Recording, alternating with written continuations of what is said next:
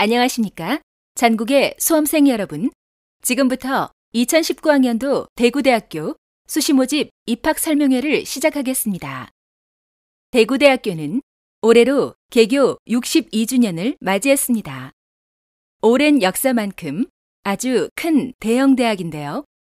96개나 되는 다양한 학과는 학생들에게 폭넓은 전공 선택의 기회를 제공합니다.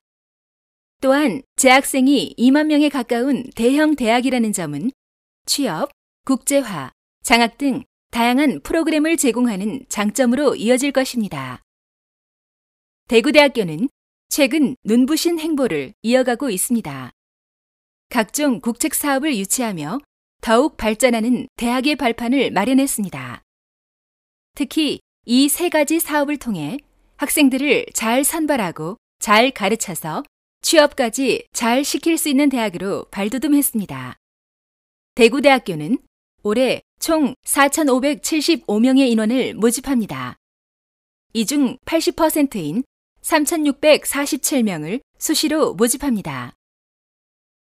대구대학교의 수시 모집 원서 접수 기간은 9월 10일부터 9월 14일까지 5일간 진행됩니다. 지금부터 각 전형에 대한 자세한 설명을 해드리겠습니다. 학생부 면접 전형은 우리 대학에서 가장 많은 인원인 1,038명을 선발합니다. 전형 방법은 학생부 70%와 면접 30%를 더해 학생을 선발합니다. 지원한 모든 학생에게 면접 기회를 제공하며 수능 최저 학력 기준은 없습니다. 학생부 면접 전형은 학생 1명과 면접관 3명이 한 조가 되어 면접을 진행하게 됩니다.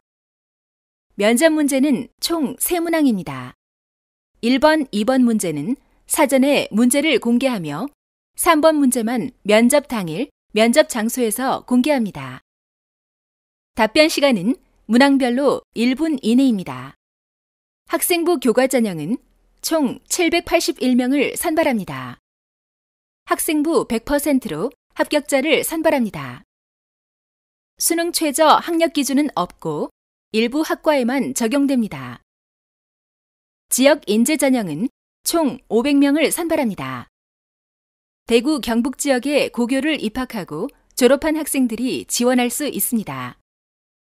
학생부 교과 전형과 동일하게 학생부 100%로 선발하며 수능 최저 학력 기준이 적용됩니다.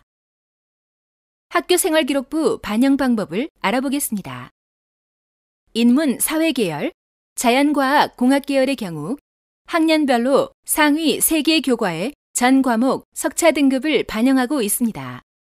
우리 대학 홈페이지에 성적 산출 프로그램을 통해서 정확하게 성적을 산출할 수 있습니다. 학생부 종합전형의 모집 인원은 522명입니다.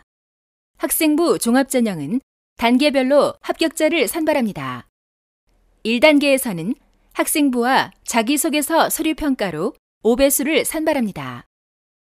2단계에서는 1단계 성적 70%와 면접 30%를 더해 최종 합격자를 선발합니다. 학생부 종합전형의 면접 방식은 앞서 설명한 학생부 면접 전형의 면접 방식과 차이가 있습니다. 두 명의 면접관과 한 명의 학생이 면접을 진행합니다. 면접 문제는 학생이 제출한 서류, 학생부와 자기소개서에 기초한 맞춤형 개별 문제가 출제됩니다. 고른 기회 전형은 학생부 종합전형과 동일한 형태로 선발합니다. 원서 접수 전 지원 자격을 꼭 확인하시기 바랍니다. 이 밖에도 특별 전형으로 예체능 전형, 농어촌 학생 전형, 특성화 고교 졸업자 전형, 장애인 등 대상자 전형이 있습니다. 포털 검색 사이트에 대구대학교 입학처를 검색하시면 여러분이 필요로 하는 다양한 정보를 쉽게 얻을 수 있습니다. 특히 전년도 입시 결과 등을 공개하여 보다 안정적인 지원이 될 수 있도록 도와드리고 있습니다. 또한 여러분께서 즐겨 사용하시는 페이스북을 통해서도 다양한 정보를 얻을 수 있습니다. 특히 많은 이벤트들도 있으니까 좋아요와 공유하기 많이 부탁드리겠습니다. 이상으로 2019학년도 대구대학교 수시모집 입학 설명회를 마치도록 하겠습니다. 학생이 행복한 대구대학교는 수험생 여러분을 응원합니다. 대구대학교에서 만나요.